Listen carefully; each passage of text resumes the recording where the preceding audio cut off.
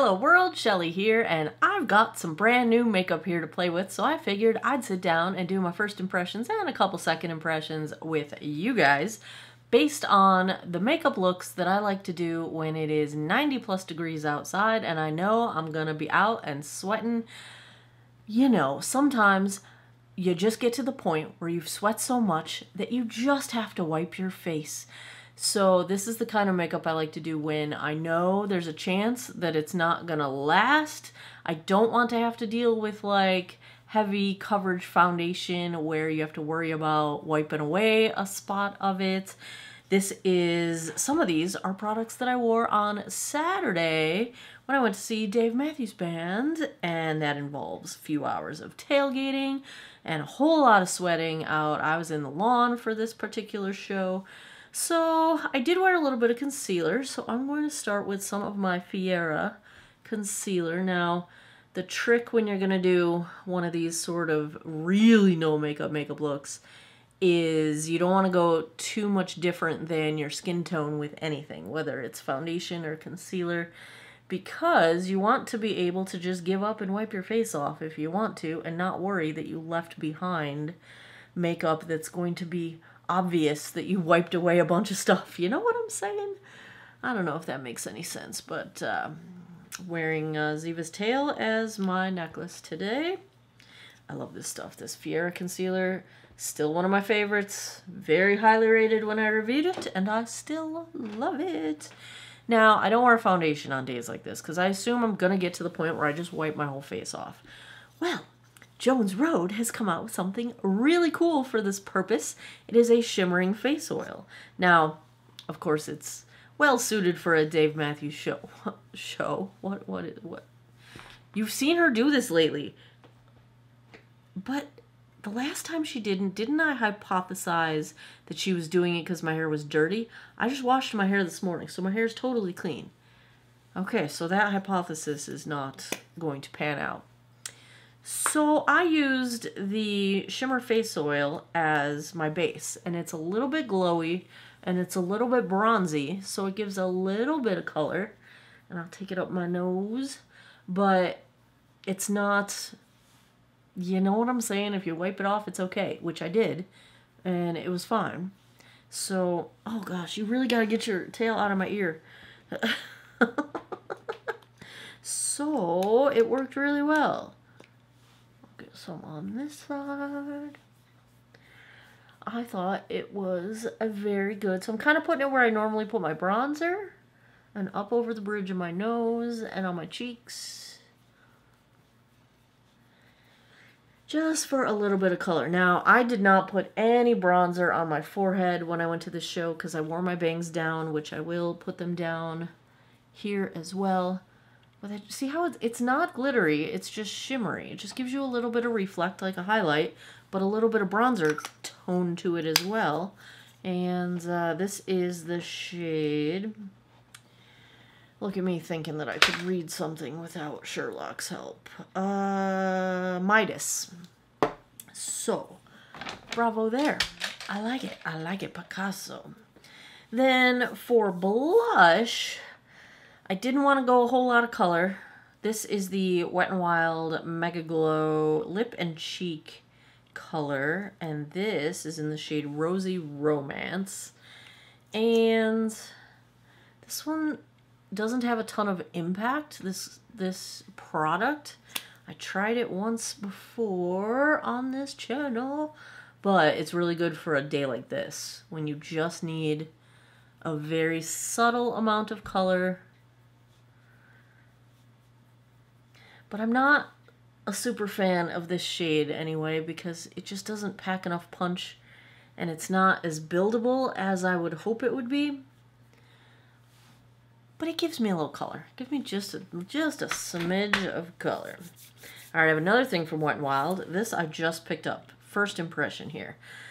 It's the Date or Dominate uh, liquid highlighter. And it just looked cute. So, so I got it. So I ordered it. And I'm expecting this to be like a traditional, you know, bling highlight. This one in the pictures was a like an opalescent pink reflect. Yeah, that's what it is. And actually, that blends out a little bit more subtly than I anticipated, which, in my opinion, is a good thing. It just makes it a little bit more wearable on an everyday basis. I try not to get any highlight up to the spot where the bags under my eyes like to form, just so that if they do form later in the day, I don't have highlight drawing attention to the puff of the bag under my eye. Mm-hmm. Now for eyes, I have from Jones Road as well, a single shadow. This is the, it's such a good name, and now I can't think of what it is. It made so much sense to me. It's because it's upside down. I can't read it. Just a sec. Just a sec. That's the name of the shadow, which made me think like, oh, it's perfect for like just getting like ready to go and out the door. I just want to get a little bit going. I did not even prime my eyes for this purpose because I knew I was going to be sweaty McSweaterson. And I just want a little bit of something something on my lids. And I do kind of take this into the crease. I know we wouldn't typically put shimmer in the crease, but I'm not really putting shimmer in the crease so much as I'm just kind of blending it into the crease. It's like so it blends and tapers out. I also have a liquid eyeshadow here, also from the Wet n Wild Date or Dominate. This was supposed to be a pink reflect as well. So let's try it out and see if we can get some inner corner fun going here since the Jones Road one is a little bit darker. It's a little bit of a peachy-ish shade. So let's keep this on the inner half and then just tap it into... Mm. These two particular shades are not what I wore this weekend, so these are both first impressions. But I did something similar with the Essence liquid eyeshadow on Saturday. I'm going to take a little bit to the inner corner there. There we go. I just want a little shimmer. Now, to be honest, TBH, I'm probably going to grab a palette like my Alter Ego Mirage and go in and get one of these, one of these neutrals. Yeah, let's use Nirvana. I just, I have a hard time not putting color in my crease. I just, I need color in my crease because that hood just looks so big to me. And I need to make it recede just a little bit. This is my Sigma E25 brush. There we go. Just a little. I don't need dramatic color or anything. I just need to make that little poof of a hood look less poofy. And dark matte colors are going to make it look less poofy. So I guess blending my shimmer didn't matter because I covered it up anyway. But if I wasn't going to cover it up, it would have been useful. I'm just going to take a little bit into my outer corner. Again, because that's the part of my lid that kind of poofs and looks hooded. Alright, I guess I'm doing more of this than I than my original plan, but I can't help myself. It always happens. It just gives a little bit of shape to things, you know? Just need a little bit of shape to things. Thank you, Alter Ego. Okay, what next? Let's do should I finish my eyes? I've got the Essence Play and Stay or Stay and Play gel liner, so we'll tight line with that.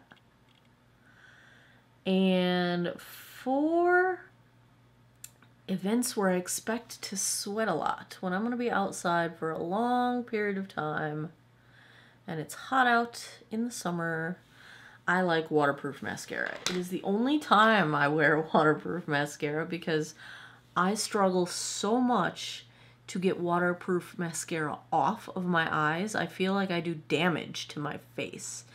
Like I literally feel like I hurt my wrinkles, like I give myself wrinkles and I pull out my eyelashes. I just feel like it doesn't come off me easily and getting it off does damage. I just I hurt myself every time. Uh, current favorite waterproof mascara is from Color Street. I like the brush. It's got a flat part. So the first thing I do is take the flat end and go to the roots of my lashes and lay down product there because there's like a little channel in the brush that's holding more product and then I flip it over to the curved side that has the longer bristles and fan all the way through my eyelashes. And of course, as usual, I get it all over myself because that's what happens when I don't wear... It seems like anytime I don't have dark eyeshadow on, well, I think I do this all the time, but when I have dark eyeshadow on, you can't tell that I got mascara all over myself. Right? so, yeah. So I like to wear waterproof when I know I'm to sweat. And I was sweating buckets this weekend. And not a bit of it ended up on my face. No mascara whatsoever. Now, by the end of the night, I wiped all the rest of my makeup off, but my mascara was still holding strong. But actually, you can kind of tell that I still have a little bit of mascara on my lashes because I can't get it all washed off since Saturday. That is just me and waterproof mascara. We we struggle. We struggle with washing the waterproof mascara off. Even with micellar water, I just live on the struggle bus. That's why my lashes are clumpy today because I still have mascara on that has been on since Saturday. I wash my face every day. It just doesn't come off. It doesn't come off. All right, now we got to do some with these brows. So I've got the L'Oreal Brow Lamination up to 24 hours. Lamination seems to be the new trendy word with uh, brow products. Ooh. This is a first impression. Little angled brush. I like that it's a tiny little brush and that it's angled. That's kind of cool. This is a clear product. Now, you may know if you've been around for a minute that I have a lot of brow hair and it doesn't like to stay up. I need serious hold. So let's see if this has serious hold. We'll find out. I got the brows up, so I like to apply the product, whatever product it is for my brows. Get it in there, put everything in place, let the product dry just a smidge, and then I like to go back with a dry spoolie, not one that has more product on it, and do like the little hold it in place just to try and get things to stay. Now with these laminating products, most of the instructions usually say to like press it against your face to kind of glue your brows down in place. I don't usually do that because I am pressing them against my face with the brush. But that's what these little end Sometimes it's a comb, sometimes it's a just a flat spatula. But I'll use the comb and I'll push them to my face and we'll see if they stay put. So they're they're pressed against my skin. We'll see if they hold. Now, when I'm going to be out in the heat, I do not usually put any mascara on my lower lashes because my lower lashes touch my face, and that is just an invitation for mascara to get all under my eyes and give me raccoon eyes. So I did not apply any on my lower lashes, as you saw, and uh, I'm not going to. So All right, all right. Some of my brow hairs are already falling down. Hold on, hold on. Get back up there. Get back up there. And this is where there are very few products that will hold my lashes or my brow hairs up. One of them is the e.l.f. Brow Lift, the gel version. That's not it. Where did it go? Is it missing? Don't tell me. Don't tell me it's missing. I will buy another one immediately. I don't see it here. I don't know where. Oh, there it is. This one. This one holds my brows. The other product that is currently holding my brows very well is the Maybelline Super Lock. And I think these two are the only two that I will say completely hold my brows in place. Now, the other two that I very much like, actually three. Do I have the third one here? No, this is not it. Somewhere. e.l.f. has a brow lamination product that with that in the name. It's almost enough hold for me, but not quite.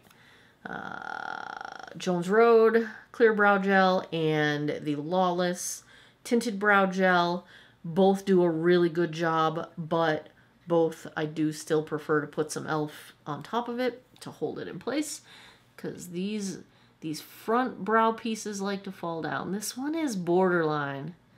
They're falling down a little bit, but they're not falling completely down. So that's a maybe. I Right now, I would still say the Maybelline Brow Lock, if you're looking for drugstore, is going to be the winner. Or the e.l.f. Brow Lift. But see, if you're what I really would love is the e.l.f. Brow Lift formula in a spoolie. So I don't have to have a totally separate spoolie situation going on. Forgot to mention that that Wet n Wild highlight also came with a mini sponge, excuse me, which I did not use. What should I do for lips? Now I have to show you. This is the cutest thing. I think I'm I'm gonna wear something else, but I've been wearing this a bunch. Look at the packaging on this. Pokemon and ColourPop, little collab going on. That is the packaging of the Pikachu lip balm, and it's one of those pH sensitive ones. It's really cool looking, and it just turns to like a pink, a pH sensitive pink on your lips. So cute. There's also a Pokemon lip balm in a Pokeball. So cute, so cute, so cute. I love it. I also got the eyeshadow palette, which I have not played with yet. I think I'm going to do a whole video on a colorful look with that. So let's do some lip from Essence. I picked up the Electric Glow. This is a color changing lip oil from Essence. And these are just fun. I like them. Ooh, tastes like watermelon. Mm. And usually, these just turn some shade of pink based on the pH of your lips. Feels like a lip oil, not a lip gloss, so my sense is that it's going to sink into the lips quite quickly which also makes me think it might be a good candidate for putting a lip mask on top of it. Why don't we do that? It's heavily fragranced, I will say. I can taste a lot of that fragrance. Mm. Oh no, I put my Pokeball on crooked. Can't have that. Absolutely not. Oh, I'm going to be so OCD about this. There we go. Love things that trigger me into being totally compulsive like that. All right. Let's get the bangs back down. And here we go. I know, they look a little floofy because they were sticking up. But this would be my 90 degree day look when I'm to be outside and it's to be hot out and I might end up wiping my whole face off, and that's fine. I usually don't wipe my eyes. Uh, but sometimes I have to wipe my eyelids because ever since I cut my hair short, I don't know what the deal is. Is it because my hair is short and there's not enough hair to hold sweat? I'm literally sweating into my eyeballs. Like whenever I'm sweating a lot, like outside doing work, vendor event setup, you know, climbing many, many, many, many, many, many, many flights of stairs to get to the very top of the back of the lawn at a Dave Matthews show. When I'm pouring sweat, it goes in my eyeballs. Not pleasant. Like, is it because my hair is allowing, like, it's not holding enough sweat and so all the rest of the sweat comes on my face? I need to start wearing, like, those nice chunky bandanas that you can wear around your forehead. Yeah, because I've been getting sweat in my eyeballs. So I have been at times wiping my actual eyelids because I'm sweating. Oh, I'm just liking I'm just liking this whole this whole look. What do you think? Great for summer. And you can wipe it off if you need to. If you end up getting sweaty McSweaterson like I am, it's good. Now, should I try this just to try it? yeah, let's just try it. I wouldn't normally put this on if I was doing a look like this to go out into the world, but this is the Infallible 3 second setting mist. 36 hour transfer defies transfer. I really just want to know how fine is the mist and does it smell like crazy? Oh, whoa, that's a lot. But it was pretty fine. It smells like hairspray. Am I sure this is setting mist? It smells like hairspray. Ooh. Mm, yeah, it smells like hairspray. It went on like dry apply. Like I felt it hit my face, but then it very quickly evaporated. It just pumps out a lot more product than I expected, but now I'll get used to it. I'll get used to it.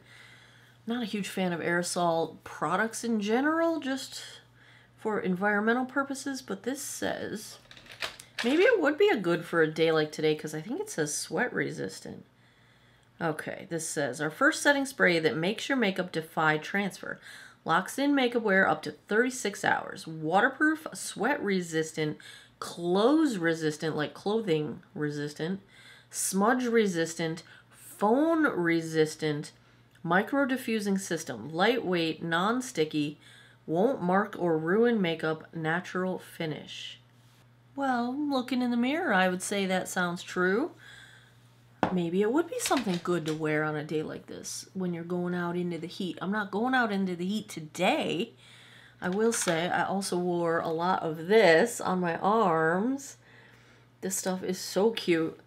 Ah, Lottie London, Outer Banks, the Gold Multi-Purpose Dry Oil for Face, Body, and Hair.